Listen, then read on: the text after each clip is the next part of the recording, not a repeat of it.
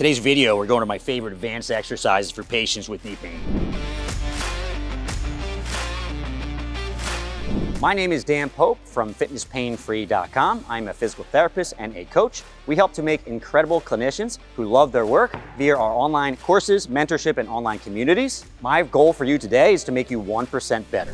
Okay, so we know that exercise obviously can be very beneficial for folks who have knee pain. However, it's really important that we learn how to dose these exercises appropriately. If you have someone at the very beginning stages of rehab, maybe the post-op, maybe have a super aggravated knee, they're gonna need a certain exercise. And once folks get to the very end stages of rehab, probably gonna have to give them something that's harder, especially given they're going back to a sport that requires a high level demand on the structures in the knee. So in today's video, we're going over my favorite, more advanced exercises that folks have knee pain. In the last video, we went over intermediate exercises for patients have knee pain. If you haven't checked that out yet, I recommend checking it out before we continue with this video. I'll leave a link in the show notes in the description below. The most important principle to keep in mind when we're going from intermediate to advanced exercises, and we're really ramping up the loads. One easy way to do this is to progress from we use partial body weight to body weight, then to loading with dumbbells and kettlebells. Now we're moving on to barbell loaded exercises, like a barbell, regular barbell, as well as things like safety squat bars. Why is that, do you ask, Steve? well, generally speaking, our grip is going to be a limiting factor with holding weights either at our sides or right here. If you take a weight, put it right back on the back rack position or front rack position here, generally we can use much heavier loads, right? When we're trying to unload the knee early on, these other um, ideas in terms of partial body weight kettlebells are really helpful. When we're trying to really ramp up a lot, using a barbell is a great way to do that. The next thing we do in the advanced phase is we start messing around more with ranges of motion. So this means we're using full range of motion, but we're also sometimes doing extended range of motion. From a squatting perspective, going full depth, the other thing we can do is we can add a heel lift or we can add a slant board, to get even deeper than we could normally, right? Increasing some of the strain on the knee. We can also use a deficit when we're doing a reverse lunge. More on that later, but essentially we're going beyond the normal range that was required in a general split squat. And if we're doing something like a step up, obviously we can just take that box and bring it up nice and high. It's gonna be more and more challenging for the knee. The next thing we do to ramp up stress the knee is going to be increasing movement speed. So in the early stages, very slow movements, maybe that's two or three seconds on the way down, two or three seconds on the way back up again, maybe add some pauses here and there. As we start to improve tolerance, we start going maybe a little slower on the way down, one or two seconds, but a little faster on the way back up again. And then we get to the last phase of rehab, moving quickly. And this is usually going to be explosive on the way back up, but keep in mind, if energy storage is really the thing you're shooting for for your athlete, we probably have to go fast on the way down and back up again. Obviously, sometimes that's not safe with certain movements. So Ideally, we want to use it for some, but not all of their exercises. The next thing we'll mess around with is going to be anterior weight translation. So essentially, beginner stages, we focus on sending the hips back when we squat. Intermediate, you get a little bit more anterior weight translation. In the advanced phase, oftentimes we're trying to really push the knees forward. A very extreme example of this would be an a sissy squat. So essentially, my toes are touching the ground, heels can pop up, I'm leaning back, I am actually not bending for my hips, and I'm really sending my knees forward. So you can see in this case, a lot of stress on the knee. This is how we're dosing up over the course of time. You know, my patients keep telling me that they have pain right behind the kneecap.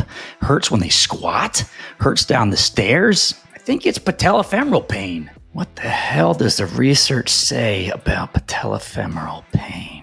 PubMed.com. All right, there we go. Okay, excellent. There's 335,000 studies to read. Ah, gosh, too much. I'm getting frustrated. Whoa, calm down. No need to be frustrated. This is Dan Pope. and I have fabricated what I believe is the perfect solution to your problem. It is the patellofemoral pain evidence based cheat sheet. And I'll catch you up to date on patellofemoral pain under 10 minutes. Well, I'll tell you what, Dan, that's actually pretty helpful because I'm kind of dumb and I don't like to read.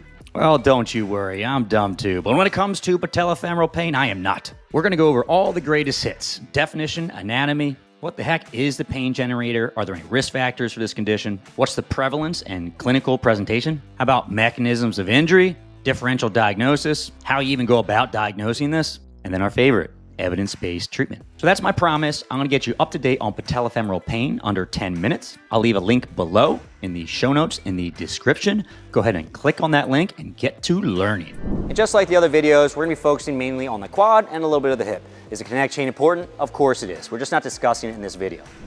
All right, so we're doing squats again. This time, we're using a barbell. So you can use whatever variation you'd like. So barbell back rack, you're going to be using more loads. When you're doing a front rack, we're probably using a little less load, but it keeps you more upright, drives the knee forward, so it puts more strain on the knee. Both of those are going to be good exercises. So let's go ahead and grab this barbell. Yep, we're gonna do a back rack. Step forward a little bit, take your squat stance, and squat as deep as you feel comfortable, all the way down there. Very good, and right back up again. Let's get another one, see some deep. Deep, deep, deep. Yeah, Steve, good. Let's take a breather. Uh, the next thing I like to do is make some more challenging is we do a one and a half rep. So essentially we're going all the way down, and we go halfway up, all the way back down again, then all the way back to the top. So go for it.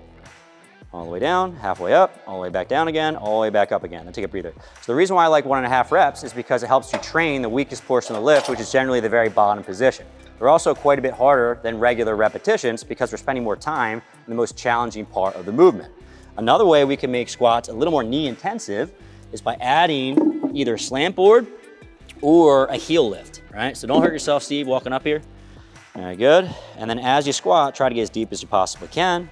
Yep, and basically, yep, and then right back up again. You can see adding the slant grants us more access to that deep range of motion. The other piece is that elevating the heels will pitch the knees forward some, and that's gonna increase the strain on the knees as well. So we're still training our favorite exercises like split squats and lunges, but now we have a weight on the back. So our grip is no longer a limiting factor. We can just really increase that load. So we're gonna have Steve go ahead and back rack here, take a step or two forward.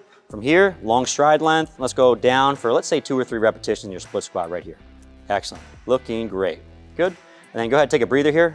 The next thing we like to do, obviously you can do your reverse lunges, but when you step forward and do a forward lunge, you have to decelerate yourself a little bit more so, right, than doing a backwards lunge. So in my mind, the forward lunge is a little bit more stressful than a reverse lunge. So if we're trying to dose up stress to that knee and work on decelerating, if you're thinking about an athlete that needs to decelerate on the field, this is a really good variation.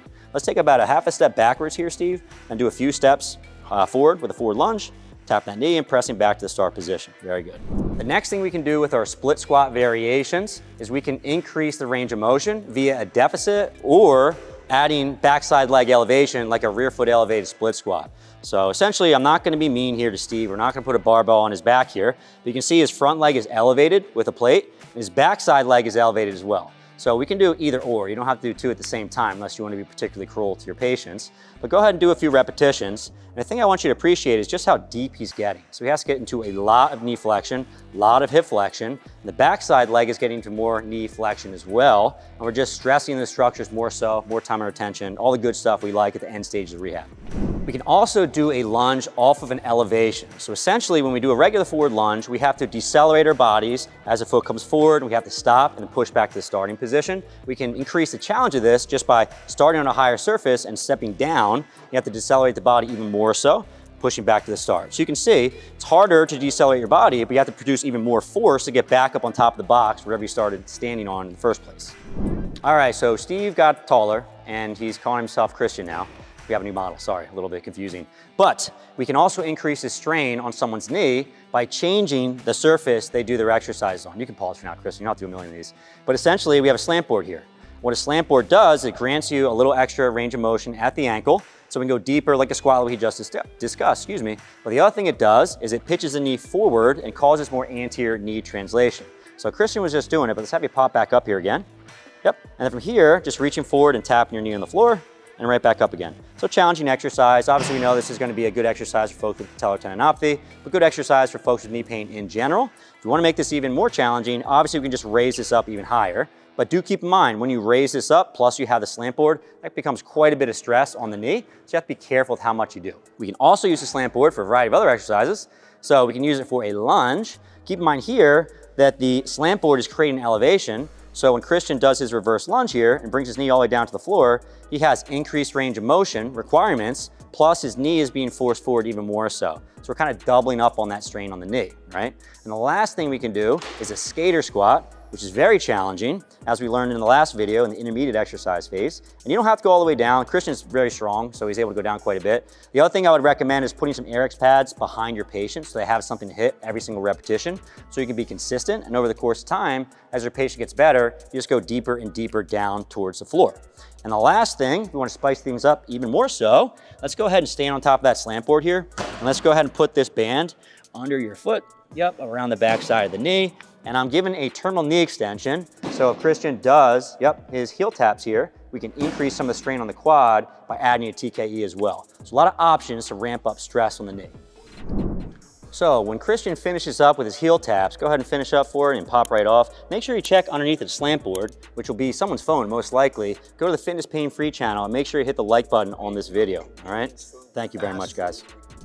Okay, now you're an expert with advanced exercises. Make sure you check out my video on intermediate exercises so you don't have to give every single patient with a lot of knee pain the hardest exercise in the book, right? So, link in the corner, click on that video, and I'll see you there.